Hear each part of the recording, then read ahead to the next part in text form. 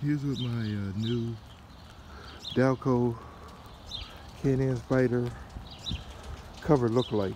and the picture shows that all this is covered. But as you can see with with my windshield lowered in the lowest position, it's not even covering up the the tire as shown in their pictures.